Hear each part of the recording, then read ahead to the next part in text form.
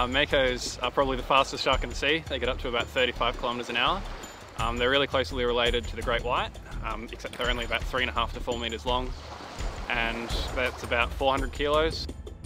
I ended up being a marine biologist um, probably because I was a really big nerd in my teens and I really liked keeping tropical fish. Um, so I went to uni to learn about saltwater fish and then I ended up getting into sharks.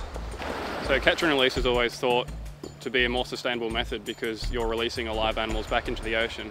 So anglers can still go out and have fun while they're fishing and, and, and not impact the actual population. There's actually no evidence that says that animals actually survive after they've been released or whether or not they die post-release due to stresses of capture. Catch and release fishing has always had the uncertainty that there's not any evidence supporting that sharks actually survive after they've been released. Uh, my project's looking at whether or not the shortfin makos in, in particular actually survive after they've been released. So a couple of years ago there was a ban on the fishing of makos in Australia. Um, this came about because there was uh, population declines in the Mediterranean and also because international authorities listed the species as migratory. Soon after it was overturned again by the Australian government because of lobbying. The main argument was that there was limited evidence supporting the linkages between Northern Hemisphere and Southern Hemisphere populations of makos. So I'm looking at whether or not makos survive after they've been released um, using two main techniques. The first one is we actually go out and catch the makos and we put satellite tags in them. These tags are designed for use in survivorship studies and they report based on depth and temperature and things like that whether or not the shark's still alive after it's been released and after 30 days that tag will pop up and let us know what's happened to the shark. Um, the second part of the study is focusing on blood work.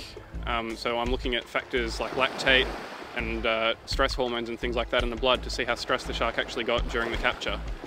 So I'm taking results from the blood work and the tags and I'm comparing those against factors of catch. So how long the shark was fighting on the line for, uh, what the water temperature was and also what specific techniques and gears the fishers were using at the time.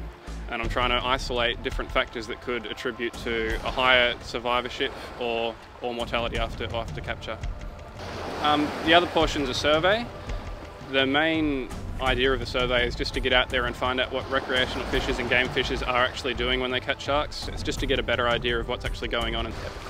So hopefully if we're able to identify some features that will help the shark survive with the fishing techniques. We'll be able to share those with anglers so that they're able to refine their fishing techniques um, and this, the fishery will become more sustainable.